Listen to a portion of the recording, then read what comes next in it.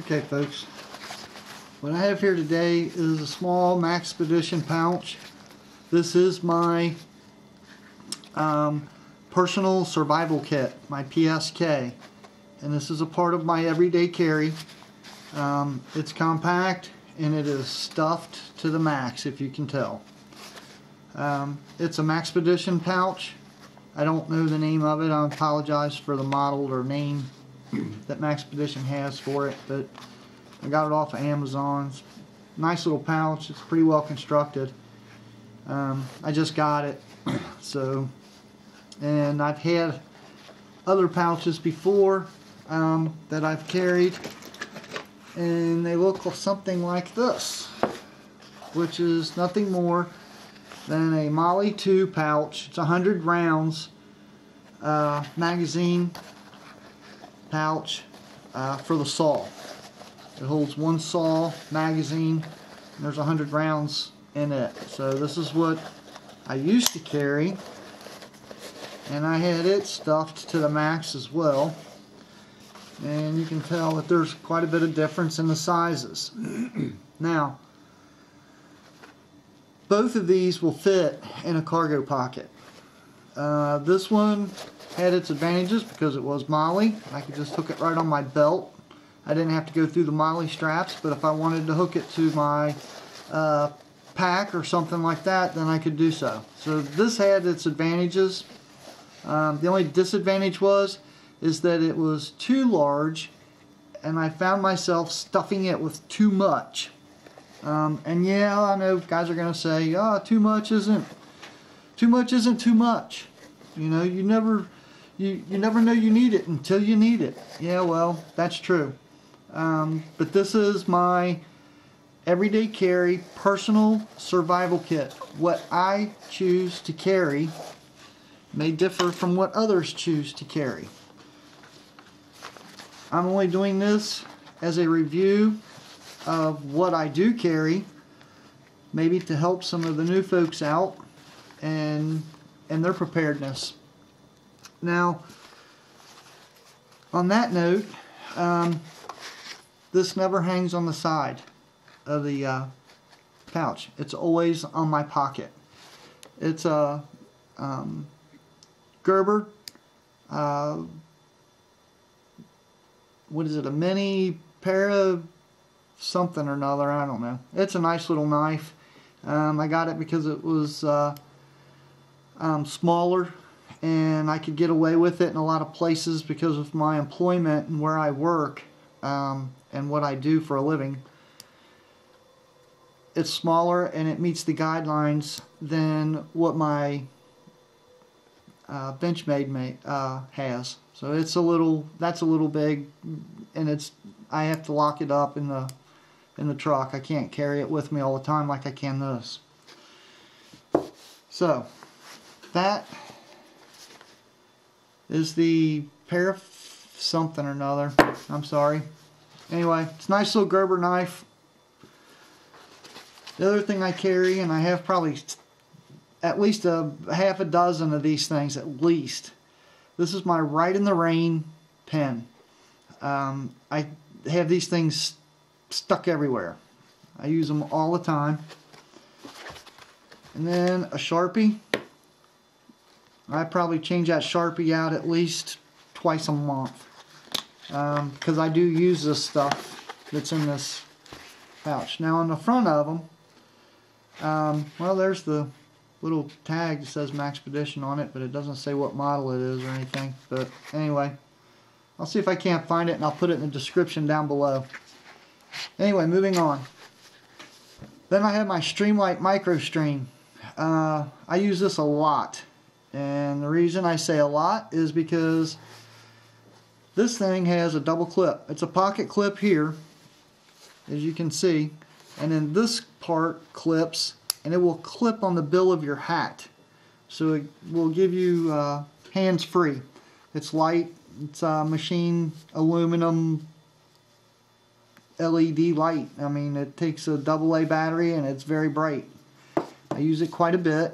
Um, then in the middle of this pocket, I carry ah, If I can get it out.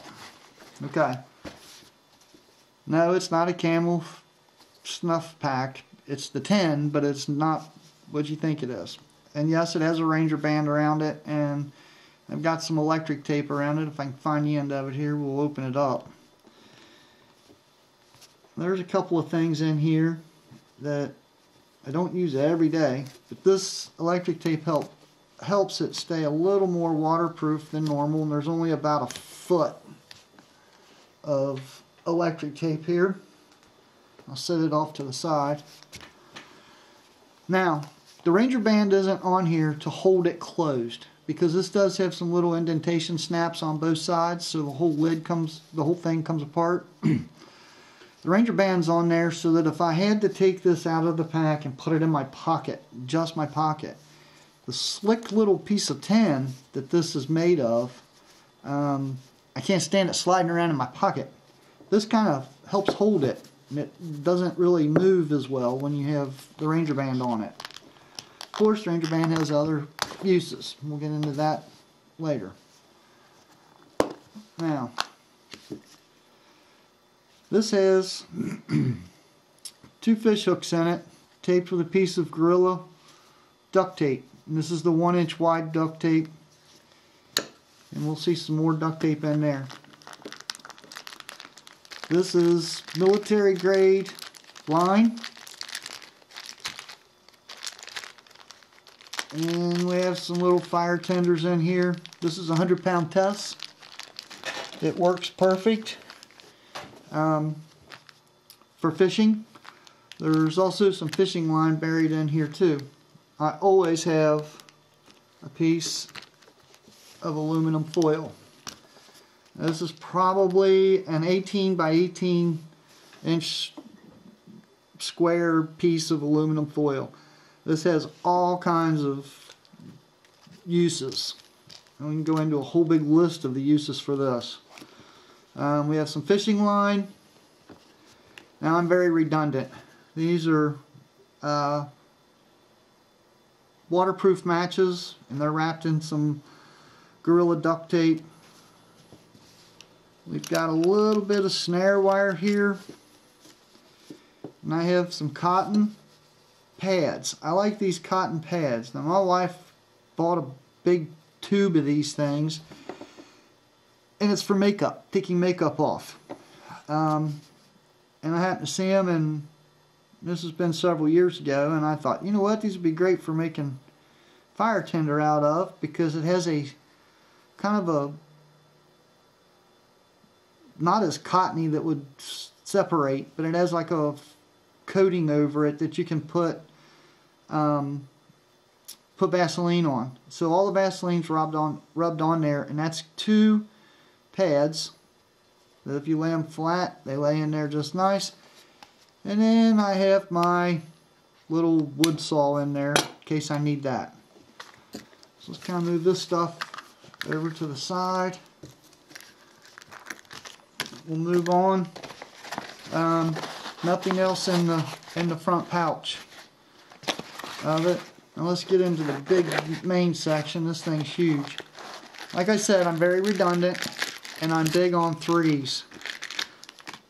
Again, wet fire. Great for uh, our fire.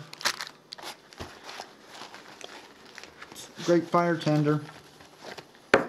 A lighter. It's a Bic, full size, brand new. Um, put that back in there.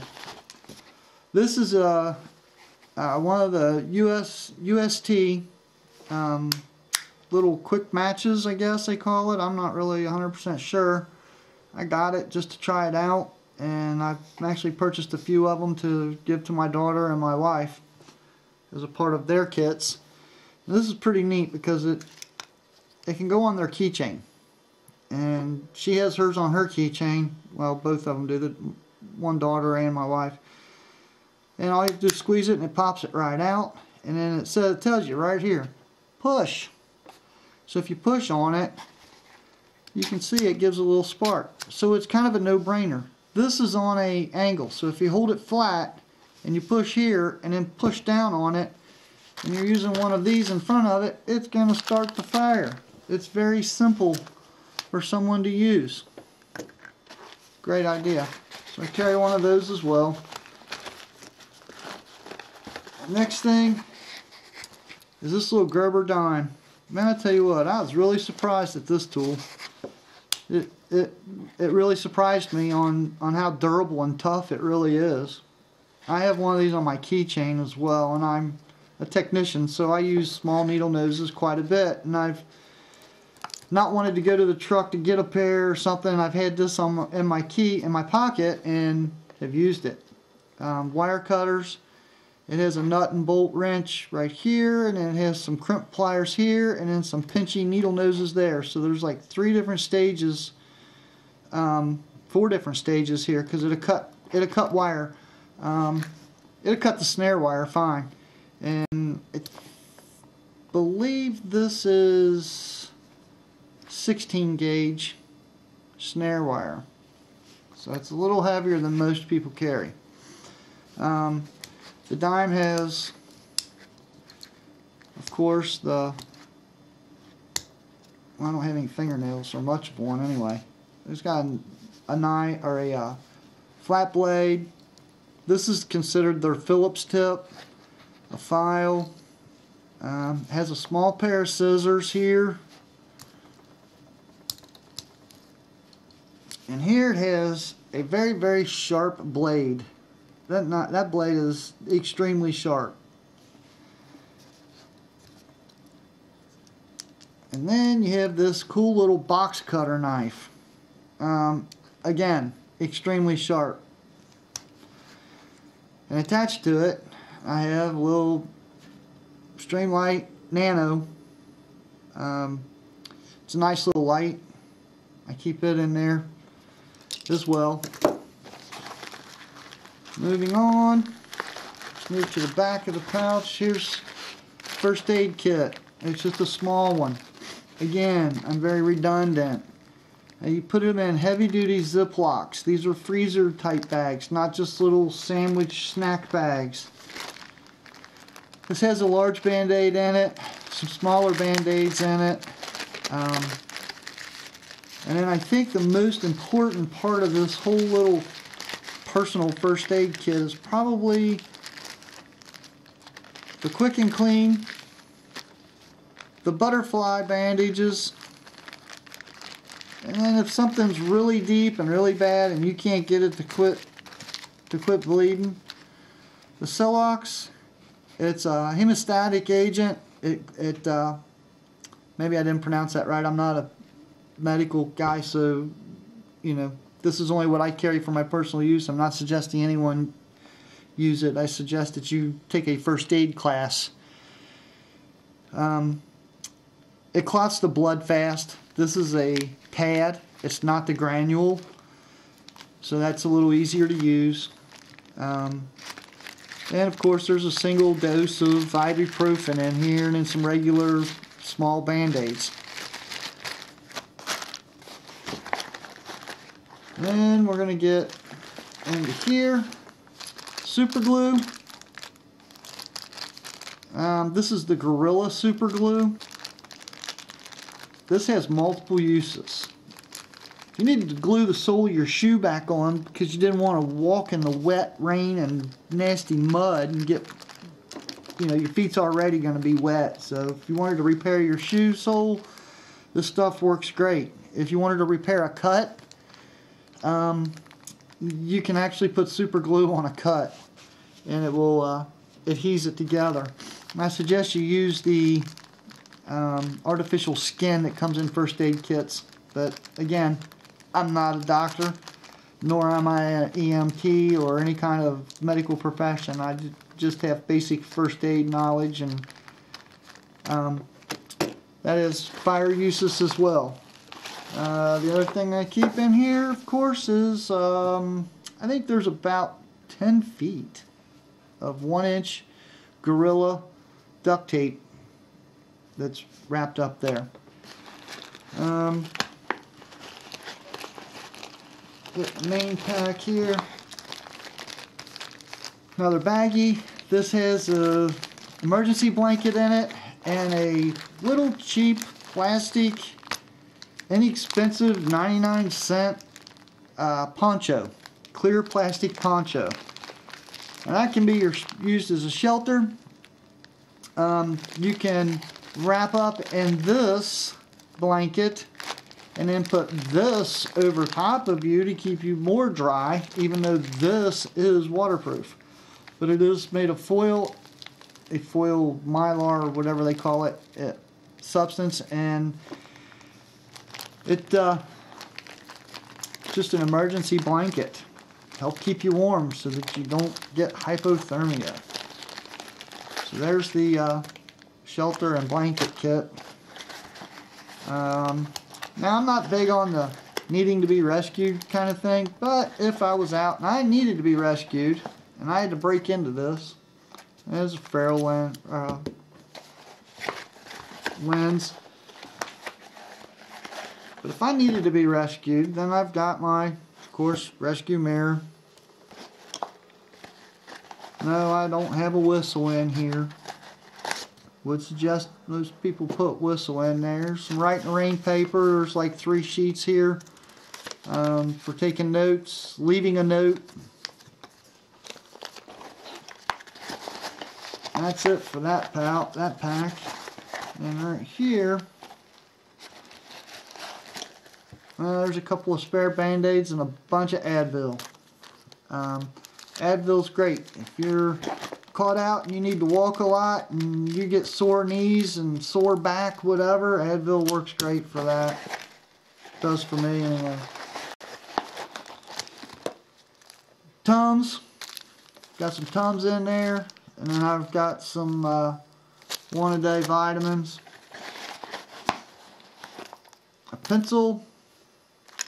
It's a number two lead pencil or what used to be a lead pencil. I don't think they make lead pencils anymore. And then three safety pins in case I need to pin something closed. Last but not least, some chapstick. Chapstick has multiple purposes. It can help with the fire, keeping uh, your tinder going, keep you from getting dry and split lips, whether it's out in the heat and the sun or if it's out in the extreme cold and wind. Chapstick's uh, kind of nice. Um, this happens to be the spearmint type, so it has a little flavor to it. So there you go, guys. That is my personal survival kit in a nutshell. Well, actually, in a small Maxpedition pouch.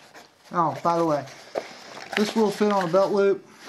Has some MOLLE attachment points for it. Um, not real big on them because they I've tried to use them and they're really tight. Mm, they might work if you use some of those Black Hawk, Black Hawk plastic MOLLE attachments.